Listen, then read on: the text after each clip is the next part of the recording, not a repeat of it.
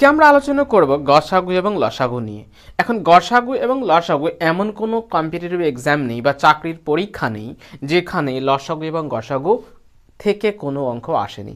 প্রত্যেকটা every exam প্রত্যেকটা এক্সামে লসাগু এবং গসাগু থেকে অঙ্ক এসছে বারবার করে প্রবলেম এসছে ঠিক আছে? তো আমাদের উচিত লস এবং গসাগু সম্পর্কে ভালো করে একটু প্র্যাকটিস করে রাখা বা ভালো করে একটু জ্ঞান থাকা অবশ্যই দরকার, আমাদের জরুরি। এখন আমরা এই লসাগু এবং গসাগু চ্যাপ্টারটা শুরু করব। শুরু করার আগে তার কতগুলো যে সূত্র টাইপের বলা যেতে পারে, কিছু সূত্র আছে মানে যেগুলো লস এবং গসাগু করতে গেলে যেগুলো জানা অত্যন্ত জরুরি, সেইগুলো আমরা জানব। তার আগে একটা কথা বলি বন্ধুরা, আমার এই ভিডিওটা আপনারা দেখুন এবং আশা করি ভালো লাগবে। যদি ভালো লাগে, তাহলে একটা লাইক এবং একটা সাবস্ক্রাইব করবেন, দয়া করে। আর যদি ভালো না লাগে, তাহলে কমেন্ট করবেন আপনাদের আলোচনা, সমালোচনা সব কিছুই সাদরে গ্রহণ করা হবে। ঠিক আছে? তো বেশি কথা না বাড়িয়ে শুরু করি। লসাগু এবং গসাগু করার আগে আমাদেরকে যেটা জানতে হবে সেটা হচ্ছে যে দুটি সংখ্যার গুণফল সমান লসাগু ইন্টু গসাগু। যে কোনো দুটো সংখ্যা আমি যদি মনে করি, যেখানে থ্রি আর ফোর আছে, তিন আর চার এই দুটো সংখ্যার মধ্যে, দুটো সংখ্যা যদি আমরা মাল্টিপ্লাই করি, তাহলে তিন আর চার মাল্টিপ্লাই করে হচ্ছে বারো হবে টুয়েলভ এবার এই তিন এবং চারের লসাগু যদি আমরা করি, লসাগু আর গসাগু যাই করি না কেন, যেটা আসবে, এটা যদি লসাগু করি হচ্ছে বারো আসবে আর গসাগু আসবে এক। ঠিক আছে? তো বারো আর এক যদি গুণ করি সে একে হবে তিন চারি বারো আর বারোকে বারো। তার মানে দেখা যাচ্ছে যে দুটো সংখ্যার গুণফল, এই দুটো যদি আমি গুণ করি, তাহলে চলে আসবে বারো। আবার এই দুটো হচ্ছে লসাগু হচ্ছে বারো আর গসাগু হচ্ছে ওয়ান। তো এই দুটোকে যদি মাল্টিপ্লাই করি, সেক্ষেত্রেও টুয়েলভ আসবে। তাহলে আমরা একটা ফর্মুলা পেলাম কি? না, যে কোনো দুটো সংখ্যার গুণফল তাদের লসাগু এবং গসাগুর গুণফলের সমান হবে। এটা হচ্ছে একটা ফর্মুলা সেকেন্ড ফর্মুলা আছে যে পরস্পর দুটি মৌলিক সংখ্যার গসাগু কত? পরস্পর যে কোনো, পরস্পর যে কোনো দুটো মৌলিক সংখ্যার গসাগু ওয়ান হতে হবে এবং সংখ্যা দুটো পরস্পর কো প্রাইম নাম্বার হতে পরস্পর মৌলিক সংখ্যা হতে হবে। এখন আমরা এই যেটা আছে, মনে করি চার আছে। চার তো মৌলিক সংখ্যা নয়, কিন্তু ফোর আর ফাইভ যদি করি, চার আর পাঁচ এরা পরস্পরের মৌলিক সংখ্যা। তো এই ফোর আর ফাইভের এদের গসাগু হচ্ছে এক। ঠিক আছে? তাহলে যে কোনো পরস্পর মৌলিক সংখ্যার গসাগু হবে ওয়ান এটা আমাদেরকে মাথায় রাখতে হবে। তাহলে লসাগু কত হবে? পরস্পর দুটি মৌলিক সংখ্যার লসাগু, পরস্পর দুটি মৌলিক সংখ্যার লসাগু কত হবে? না, সংখ্যা দুটির গুণফল। এখানে আছে পরস্পর দুটো মৌলিক সংখ্যা চার এবং পাঁচ, এদের লসাগু কত হবে? না four into five is equal to twenty এটা যদি আমরা মাল্টিপ্লাই করি পরস্পর দুটো মৌলিক সংখ্যা, তাহলে এটা হচ্ছে সংখ্যা দুটির গুণফল চার আর into five four into five is equal to twenty হবে। ঠিক আছে? এবার আমরা একটা জিনিস জানব, যেটা হচ্ছে মোস্ট ইম্পর্টেন্ট লসাগু এবং গসাগু আমরা যদি করতে যাই। ঠিক আছে? ফার্স্ট হচ্ছে গসাগু আছে। তো, গসাগুর ফুল ফর্ম হচ্ছে গরিষ্ঠ সাধারণ গুণনীয়ক। গরিষ্ঠ সাধারণ গুণনীয়ক। মানে এমন একটা সংখ্যা, যে সংখ্যা দিয়ে আমি অন্য সংখ্যাগুলোকে ভাগ করতে পারব। গরিষ্ঠ সাধারণ গুণনীয়ক। আমি যদি দুই ধরি, ঠিক আছে? এখানে যদি দুই ধরি, তাহলে দুইটা যদি কারও গসাগু হয়, তার মানে এই দুই দিয়ে অন্য যে সংখ্যাগুলো থেকে গসাগুটা তৈরি করা হয়েছে, ভাগ করা যাবে। এবার একটা জিনিস আমাদেরকে সবসময় খেয়াল রাখতে হবে, সেটা হচ্ছে যে যখনই কোনো অঙ্কে বলা থাকবে যে গরিষ্ঠ বা সব থেকে বড় বা বৃহত্তম সংখ্যা নির্ণয় করতে যদি বলে যে গরিষ্ঠ সংখ্যা নির্ণয় করো বা বৃহত্তম সংখ্যা নির্ণয় করো বা সব থেকে বড় সংখ্যা নির্ণয় করো, ঠিক আছে, বা সর্বোচ্চ সংখ্যা নির্ণয় করো, তখন আমাদেরকে গসাগু নির্ণয় করতে হবে এবং ওটাই হবে আনসার বা উত্তর। ঠিক আছে? তো যখনই কোনো কিছু গসাগু, গরিষ্ঠ বা সব থেকে বড় বৃহত্তম সংখ্যা নির্ণয় করতে বলবে, তখন আমরা গসাগু ডিটারমাইন করব, গসাগুটা বার করব। ঠিক আছে? এটা হচ্ছে গরিষ্ঠ সাধারণ গুণনীয়ক।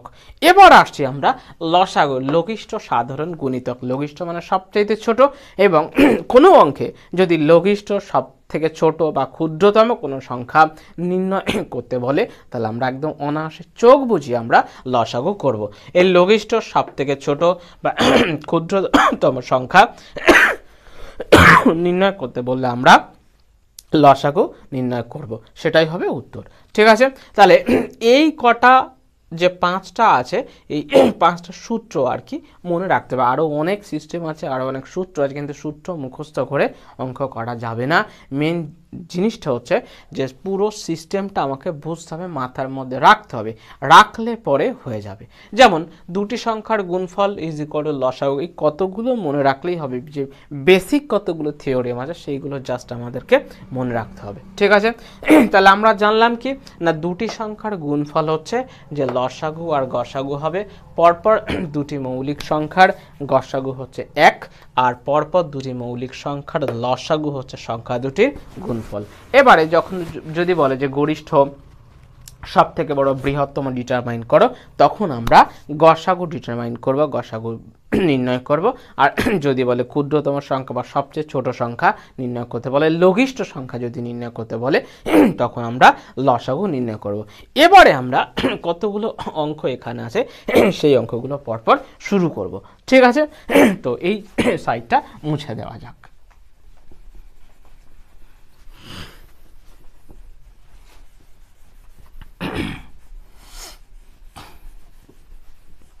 একদম ছোট্ট ছোট্ট করে অঙ্ক করব অপশান দেখে, কারণ পরীক্ষার সময় তো কম্পিটিটিভ জাস্ট এমসিকিউ টাইপের কোশ্চেন হবে। সেক্ষেত্রে আমাদেরকে অপশান দেখে আমাদেরকে সাহায্য নিতে হবে অপশান থেকেই। কারণ এমনি যদি আমরা এলাবোরেটেড বা ডেসক্রিপটিভ টাইপ হয়, সেখানে কোনো অপশান দেওয়া থাকে না। এখানে যেহেতু অপশান দেওয়া থাকবে অপশান থেকে আমরা আনসার গেস করব কারেক্ট আনসারটাই পুট করব ওকে তো শুরু করা যাক। প্রথমে বলেছে যে, কোন ক্ষুদ্রতম সংখ্যাকে, কোন ক্ষুদ্রতম সংখ্যাকে কুড়ি, বিয়াল্লিশ, তেষট্টি দ্বারা ভাগ করলে প্রতি প্রতি ক্ষেত্রে এক অবশিষ্ট থাকবে? আগে অঙ্কটা আমার ভালো করে বুঝতে হবে। প্রথমে বলেছে যে, কোন ক্ষুদ্রতম সংখ্যাকে? বলছে, কোন ক্ষুদ্রতম সংখ্যা? এটা যেই বলেছে ক্ষুদ্রতম সংখ্যা, তাহলে আমার মাথায় আনতে হবে কি? না, লসাগু করতে হবে। কোন সংখ্যাগুলো লসাগু করতে হবে? না twenty, forty, two sixty three এই যে সংখ্যাগুলো আছে, এর লসাগু আমরা বার করব। তারপরে বলো যে, ভাগ করলে প্রতি ক্ষেত্রে এক অবশিষ্ট থাকবে। মানে হচ্ছে যে যে সংখ্যাটা আমরা লঘিষ্ঠ সংখ্যা বা লসাগু বার করব, সেই লসাগুকে আমরা যদি কুড়ি, বিয়াল্লিশ এবং সিক্সটি যদি একটা একটা করে ভাগ করি, তাহলে প্রত্যেকটা ক্ষেত্রে এক অবশিষ্ট থাকবে। এই রকম একটা সংখ্যা আমাকে ডিটারমাইন করতে হবে। ঠিক আছে? তো আমি প্রথমে করি কি? কুড়ি, বিয়াল্লিশ আছে। কুড়ি বিয়াল্লিশ আর হচ্ছে সিক্সটি থ্রি এইগুলোকে লসাগু করব। এখন, লসাগু করতে গেলে অনেক সময় লাগবে। আমাকে ফট করে এই যে অপশান দেওয়া আছে অপশানের দিকে খেয়াল রাখতে হবে। এদের মধ্যে আছে এক হাজার দুশো চল্লিশ, এক হাজার একষট্টি, এক হাজার দুশো একান্ন আর বারোশো উনচল্লিশ আছে। এদের মধ্যে আমার দেখতে হবে যে কোন সংখ্যাটাকে আমি কুড়ি, বিয়াল্লিশ আর তেষট্টি দিয়ে ভাগ যায় এদের মধ্যে যতগুলো সংখ্যা আছে তাদের মধ্যে এই যে বারো, একচল্লিশ যেটা আছে না, এই সংখ্যাটাকে আমি একটু খেয়াল করব। প্রথমে বলেছে এক অবশিষ্ট থাকবে, তাহলে আমার এদের যে লসাগু হবে, সেই লসাগু থেকে এই লসাগু যেটা হবে তার সঙ্গে এক যোগ করলে পরে উত্তরটা আসবে তাহলে এখানে যে অপশানগুলো দেওয়া আছে, সেই অপশান থেকে আমি প্রথমে এক বিয়োগ করে দেবো তাহলে বা বারোশো একচল্লিশ এটা থেকে যদি আমরা বিয়োগ করি, তাহলে বারোশো চল্লিশ আসবে। এবার ঠিক ওই রকম সেম টাইপে এগুলো যদি বিয়োগ করি, এক বিয়োগ করি মাইনাস করি, তাহলে বারোশো ষাট আসবে, এটা যদি বিয়োগ করি, বারোশো পঞ্চাশ, বারোশো এটা হচ্ছে থার্টি এইট আসবে, ঠিক আছে? তো এখন দেখা যাবে যে এই যে সংখ্যাগুলো আছে, সব সংখ্যাগুলো দিয়ে কিন্তু সবগুলোকে ভাগ করা যাবে না। শুধুমাত্র এই যে বারোশো চল্লিশ যেটা আছে, বারোশো চল্লিশ কে এই কুড়ি, বিয়াল্লিশ এবং তেষট্টি দিয়ে ভাগ যাবে। তাহলে আমরা বুঝতেই পারব যে এই কুড়ি, বিয়াল্লিশ এবং তেষট্টির লসাগু বা এলসিএম হচ্ছে লঘিষ্ঠ সাধারণ গুণিতক হচ্ছে বারোশো চল্লিশ। এবার তাহলে এটা তো এইগুলো দিয়ে তো ভাগ করলে মিলে যাবে। কিন্তু এখানে বলেছে যে এমন একটা সংখ্যা বার করো যে কুড়ি, বিয়াল্লিশ এবং তেষট্টি দিয়ে ভাগ করলে এক অবশিষ্ট থাকবে। তাহলে এইটা যেহেতু আমরা লসাগু বার করেছি, এবার এর সঙ্গে আমরা ওয়ান অ্যাড করে দেবো। দেখা যাবে যে আমরা যদি কুড়ি, বিয়াল্লিশ আর সিক্সটি থ্রি যেটা আছে, তেষট্টি যদি ভাগ করি, তাহলে প্রতি ক্ষেত্রে এক অবশিষ্ট থাকবে। কারণ এই বারোশো চল্লিশ, এটা হচ্ছে ডিভাইডেড হয়ে যাবে ডিভিজিবল এবার এখানে যদি এক যোগ করি, তাহলে এই যে ওয়ান যেটা আছে, এটা পড়ে থাকবে এবং অঙ্কে বলেছে যে ওয়ানটা অবশিষ্ট থাকবে। ঠিক আছে? তাহলে আমার অপশান কোনটা হবে? উত্তর হচ্ছে এই যেখানে বারোশো একচল্লিশ যেটা আছে, ওইটা অপশান ওটা হচ্ছে উত্তর হবে। ঠিক আছে? তারপরে সেকেন্ড আমরা দু নম্বর একটা অঙ্ক আছে, বলছে কোন ক্ষুদ্রতম সংখ্যাকে বাহাত্তর, নব্বই এবং একশো কুড়ি দ্বারা ভাগ করলে কোনো ভাগশেষ থাকবে না। কোনো ভাগশেষ থাকবে না। এখানে ভাগশেষের কথা বলেছিল, আর এখানটাতে বলছে যে কোনো ভাগশেষ থাকবে না। তাহলে আমরা আগে অঙ্কটা একবার দেখে নিই। কোন ক্ষুদ্রতম সংখ্যাকে বাহাত্তর নব্বই এবং একশো কুড়ি দ্বারা ভাগ করলে কোনো ভাগশেষ থাকবে না? কোন সংখ্যাকে? কোন ক্ষুদ্রতম সংখ্যাকে? এখানে বলেছে ক্ষুদ্রতম সংখ্যা। তো যখনই ক্ষুদ্রতম সংখ্যা বলে সঙ্গে সঙ্গে আমরা আমাদের মাথায় আনতে হবে যে ক্ষুদ্রতম সংখ্যা মানে হচ্ছে লসাগু নির্ণয় করতে বলেছে। ঠিক আছে? তো বাহাত্তর নব্বই আর একশো কুড়ি একবার এখানে লিখে নিই। বাহাত্তর নব্বই আর এটা হচ্ছে একশো কুড়ি। এতে আমরা লসাগু বার করি। এখন লসাগু বার করতে গেলে অনেক সময় লাগবে। এবারে একটা জিনিস আমাকে খেয়াল রাখতে এই যে অপশান যেগুলো আছে না, এই অপশানগুলোর মধ্যে দুশো ষাট, ছশো তিরিশ, তিনশো ষাট আর ছশো কুড়ি, এদের মধ্যে যে ক্ষুদ্রতম সংখ্যা যেগুলো আছে, তাদের মধ্যে শুধুমাত্র এই যে তিনশো ষাট যেটা আছে না, এই বাহাত্তর, এটাকে যদি আমি এ করি, তাহলে পাঁচ বাহাত্তর হচ্ছে তিনশো ষাট, নব্বই তিনশো ষাট, চার নয় ছত্রিশ, তিনশো ষাট, কুড়ি যেটা আছে তিন বারো ছত্রিশ, তিন দিয়ে একশো কুড়িকে তিন দিয়ে গুণ করলে তিনশো ষাট হবে। তাহলে দেখা যাচ্ছে যে এই বাহাত্তর, নব্বই এবং একশো কুড়ি এই সংখ্যা দিয়ে তিনশো ষাটকে আমরা ভাগ করতে পারব। তার মানে হচ্ছে বাহাত্তর, নব্বই এবং একশো কুড়ি হচ্ছে তিনশো ষাটে লসাগু।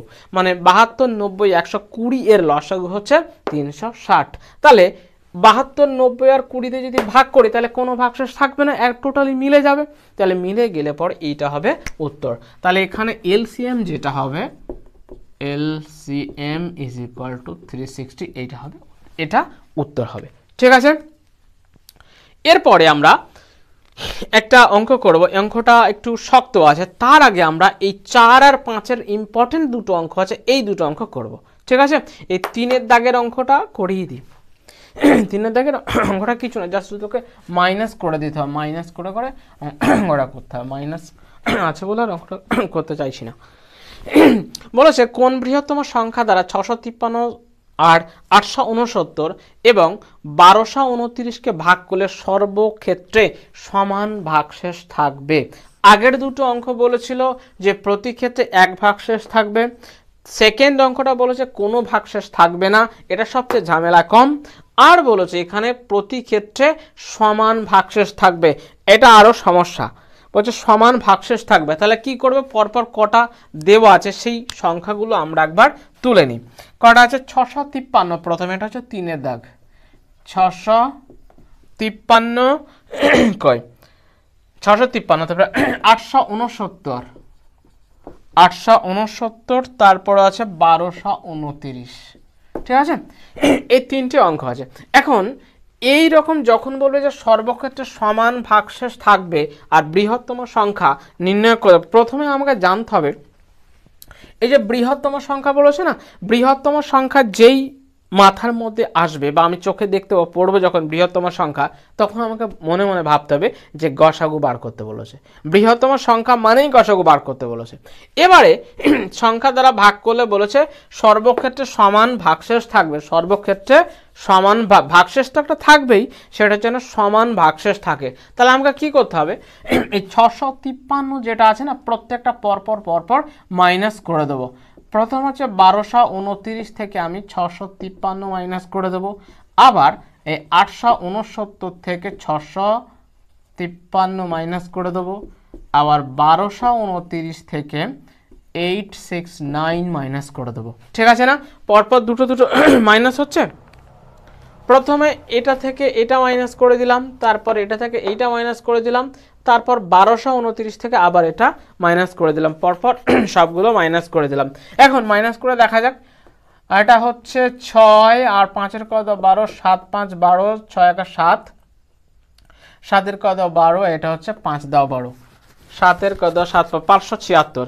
এটা যদি ভাগ করে মাইনাস করি, তাহলে হচ্ছে তোমার ছয়, এক, দুশো ষোলো আর এটা হচ্ছে নয়, ছয় মিলে গেল ছয়ের কত বারো ছয়ের কত বারো, দুই হাতে এক আটের একে নয় নয় কত বারো, তিনশো ষাট।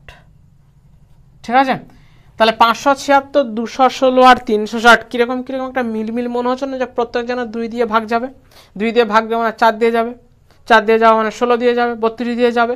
তাহলে পাঁচশো ছিয়াত্তর, দুশো ষোলো আর তিনশো ষাট এই তিনটে সংখ্যার এবার আমাকে গসাগু বার করতে হবে। আমরা তো গসাগু করব না। শর্টকাটে মারবো। তো শর্টকাটে মারতে গেলে আমাকে এখানে খেয়াল রাখতে ছত্রিশ, চুয়ান্ন, বাহাত্তর আর একশো আট। ছত্রিশ, চুয়ান্ন, বাহাত্তর, একশো আট। এদের মধ্যে কোন বৃহত্তম সংখ্যা দ্বারা? এই যে এতগুলো সংখ্যা আছে, তাদের মধ্যে কোন সংখ্যাকে ওই পাঁচশো ছিয়াত্তর ভাগ যাবে? তারপরে আর কত করছে দুশো ষোলো আর তিনশো ষাট। এখন সবচেয়ে সিম্পল যেটা আছে, এখানে আছে তিনশো ষাট আর এখানে আছে ছত্রিশ। একদম ভাগ করলেই মিলে যাবে তিনশো ষাট। তাহলে এই যে ছত্রিশ, তাহলে ছত্রিশ দিয়ে আবার দুশো ষোলোকেও ভাগ করা যাবে, ছত্রিশ দিয়ে পাঁচশো ছিয়াত্তরকেও ভাগ করা যাবে। তাহলে এখানটাতে আমরা জাস্ট এই অপশান দেখে আমরা বলে দেব যে উত্তরটা হবে ছত্রিশ। মানে ছত্রিশ হচ্ছে এমন একটা সংখ্যা যেটা দিয়ে যদি আমরা পাঁচশো ছিয়াত্তরকে ভাগ করি মিলে যাবে, আবার দুশো ষোলোকে যদি ভাগ করি সেও একটা হবে, তিনশো ষাট যদি ভাগ করি সেও মিলে যাবে। ঠিক আছে? এটা হচ্ছে উত্তর। ছত্রিশ উত্তর হবে। এটা আমরা গসাগু দিয়ে বার করলাম। এরপরে চার নম্বর অঙ্কটা চার আর পাঁচ নম্বর অঙ্কটা, দুটো হচ্ছে মোস্ট ইম্পর্ট্যান্ট দুটো অঙ্ক। সেই দুটো অঙ্ক আমরা একটু ভালো করে করো পরীক্ষায়। ওই রকম টাইপসের অঙ্কগুলো বেশি বেশি আসে। এটা জাস্ট একদম খুব সহজ। বলেছে দুটো সংখ্যার অনুপাত ফোর ইস টু ফাইভ তাদের গসাগু ফাইভ সংখ্যা দুটির সমষ্টি কত? দুটো সংখ্যা বলে দেওয়া আছে, তাদের অনুপাত কত আছে? ফোর ইস টু ফাইভ দুটো সংখ্যা, এটা বলেছে যে ফোর ইস টু ফাইভ আর তাদের গসাগু কত বলেছে? বলছে এইচ সি এফ গসাগু হচ্ছে ফাইভ এটা বলে দেওয়া আছে। তাহলে দুটো সংখ্যা তাদের অনুপাত দেওয়া আছে ফোর ইস টু ফাইভ আর তাদের গসাগু দেওয়া আছে পাঁচ। এখন বলেছে যে কি বার করতে বলেছে? সংখ্যা দুটির সমষ্টি কত? সংখ্যা দুটির সমষ্টি কত? এই রকম টাইপসের যখন কোনো অঙ্ক থাকে, এই যে দুটো অনুপাত যখন দেওয়া থাকবে আর এই যে এইচ সি এফ গসাগু দেওয়া থাকবে, তার মানে হচ্ছে সংখ্যা দুটো হবে। আমি একবার লিখে নিই। ফোর ইস টু ফাইভ অনুপাত, তাদের সঙ্গে আমি জাস্ট এই ফাইভ মাল্টিপ্লাই করে দেবো, এই ফাইভ মাল্টিপ্লাই করে দেবো। তাহলে চার পাঁচ কুড়ি, পাঁচ পাঁচা পঁচিশ। ঠিক আছে? এই দুটো সংখ্যা বেরিয়ে গেল। একদম জাস্ট মাল্টিপ্লাই করে দেবো, হয়ে যাবে। তাহলে চার, পাঁচ, কুড়ি আর পঁচিশ। এই হচ্ছে দুটো সংখ্যা। যাদের অনুপাত হচ্ছে ফোর ইস টু ফাইভ আর গসাগ হচ্ছে পাঁচ। এবার আমাকে বলেছে যে এই দুটো সংখ্যার সমষ্টি কত? তাহলে কুড়ি আর পঁচিশ যদি যোগ করি পঁয়তাল্লিশ হবে একদম ভেরি সিম্পল অঙ্ক, পঁয়তাল্লিশ হচ্ছে আনসার হবে। আর একবার বলি, যখন কোনো সংখ্যা দুটোর অনুপাত দেওয়া থাকবে আর গসাগু দেওয়া থাকবে, সংখ্যা দুটোর অনুপাত আর গসাগু যখন দেওয়া থাকবে, একদম সরাসরি ওই গসাগু দিয়ে অনুপাত দুটোকে মাল্টিপ্লাই করে দেবো। গসাগু দিয়ে অনুপাত দুটোকে মাল্টিপ্লাই করে দেব। দিলেই দুটো সংখ্যা পরপর চলে আসবে। একটা হচ্ছে যেখানে ফোর ইস ফোর ছিল, তাহলে এটা, এই চার পাঁচ কুড়ি করে দিলাম, আর একটা পাঁচ ছিল, পাঁচ পাঁচা পঁচিশ করে দিলাম। তাহলে একটা কুড়ি আর পঁচিশ। এবার দুটো সংখ্যা, এই দুটো। আমাকে যদি বলতো ক্ষুদ্রতম সংখ্যা কোনটা হবে? তাহলে টোয়েন্টি হতো। যদি বলতো বৃহত্তম সংখ্যা ওই দুটোর মধ্যে, তাহলে পঁচিশ হতো। কিন্তু ওখানে হচ্ছে সমষ্টি, তাহলে কুড়ি আর পঁচিশ দুটো যোগ করে দিলাম, সমষ্টি বেরিয়ে চলে গেল, ওটা হচ্ছে উত্তর। ঠিক আছে? এরপরে নাম্বার ফাইভ নাম্বার ফাইভের অঙ্কটা আরও এর থেকে আরও সহজ। একই নিয়মের অঙ্ক দুটো, কিন্তু এই অঙ্কগুলোই আজকাল বেশি বেশি করে এক্সামে আসছে। বলেছে দুটি সংখ্যার অনুপাত নাইন ইস টু সেভেন তাদের গসাগু উনিশ হলে ছোট সংখ্যাটি কত? দুটি সংখ্যার অনুপাত হচ্ছে নাইন ইস টু সেভেন গসাগু হচ্ছে উনিশ হলে ছোট সংখ্যাটি কত? আমার দুটো অনুপাত দুটো আগে ফটাফট লিখে নিই।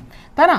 তাহলে হচ্ছে নাইন ইস টু সেভেন আর এখানে বলেছে এই সিএফ কত আছে? এই সিএফ বলেছে যে নাইনটিন আমি বলেছিলাম যে দুটো সংখ্যা বার করতে গেলে যে গসাগু যেটা থাকবে সেটা দিয়ে অনুপাত দুটোকে মাল্টিপ্লাই করে দিতে হবে। যে সংখ্যা আছে, এখানে দুটো অনুপাত আছে নাইন ইস টু সেভেন আর এখানে এই সেভ আছে নাইনটিন তাহলে আমার উচিত হবে কি যে যে অনুপাত যেটা দেওয়া আছে, সেই অনুপাতটাকে আমার এইচ সি এফ দিয়ে মাল্টিপ্লাই করে দেবো। তাহলে মাল্টিপ্লাই করে দিয়ে দেখা যাক। এটা যদি আমি তাহলে নাইন ইস টু সেভেন এর সঙ্গে আমি নাইনটিন মাল্টিপ্লাই করে দেবো আর এই নাইন ইস টু সেভেন এর সঙ্গে নাইনটিন মাল্টিপ্লাই করে দেবো। মাল্টিপ্লাই করা যাক, একদম সিম্পলি আমরা দেখতে পাবো যে এখানে যেহেতু নাইন আছে নাইনের সঙ্গে নাইনটিন মাল্টিপ্লাই করে অনেকটা বেশি হবে আর সেভেন আর নাইনটিন যদি মাল্টিপ্লাই করে, এটা থেকে কম্পেয়ারটা দুই এই এটার কম্পেয়ার থেকে এটা অনেকটা কম হবে, এটার থেকে এটা অনেকটা কম হবে। এখানে বলেছে, আমার অঙ্ক যেটা বলেছে সেটা হচ্ছে যে ছোট সংখ্যাটি কত? তাহলে ছোট সংখ্যাটি সাত আর উনিশ। সাত আর উনিশ, এই দুটো মাল্টিপ্লাই করে দেবো। সাত আর উনিশ মাল্টিপ্লাই করলে কত হবে? সাত নয় তেষট্টি দিন হাতে ছয়। সাত থেকে সাত সাত, ছয়, তেরো। এটা হবে তিন, একশো তেত্রিশ। তাহলে উত্তর হবে একশো যদি বলতো যে বৃহত্তম সংখ্যাটা কত, তাহলে আমাকে উনিশ আর নয়, এই দুটো মাল্টিপ্লাই করা হতো। কিন্তু যদি নিম্ন সংখ্যা, সর্বনিম্ন কনিষ্ঠ সংখ্যা বা ক্ষুদ্রতম সংখ্যা বার করতে বলেছে, তাহলে আমি এটার সঙ্গে সেভেন আর নাইনটিনের সঙ্গে মাল্টিপ্লাই করে দিলাম। আরেকবার বলে দিই। যখন অনু এটা মোস্ট ইম্পর্টেন্ট ওই জন্য বারবার করে বলছে যে যখন অনুপাত দুটো দেওয়া থাকবে বলে দেবে যে দুটো সংখ্যার অনুপাত হচ্ছে এই এটা, আর বলে দেবে যে তাদের গসাগু। তাহলে সংখ্যা দুটো কত? একদম অনুপাত দুটোকে ফটাফট আমি জাস্ট অনু ওই যে এই শেপ আছে এই শেপ দিয়ে মাল্টিপ্লাই করে দেবো। মাল্টিপ্লাই করে দিলে পরপর দুটো সংখ্যা পেয়ে যাব। এবার যদি আমার হায়েস্ট নাম্বার বার করতে বলে, আমি বৃহত্তম সংখ্যা বার করতে বলে, তো সেটা বলে দেবো যদি লোয়েস্ট নাম্বার ডিটারমাইন করতে বলে লোয়েস্ট নাম্বার বুঝতে পারব।